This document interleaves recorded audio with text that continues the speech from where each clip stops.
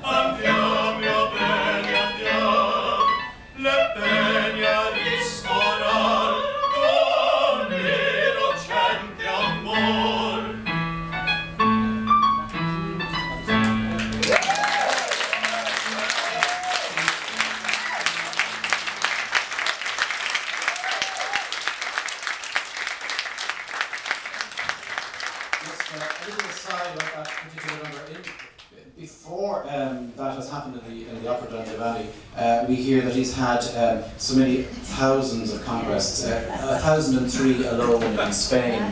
Um, he thinks he succeeded with Zerlina, actually he doesn't.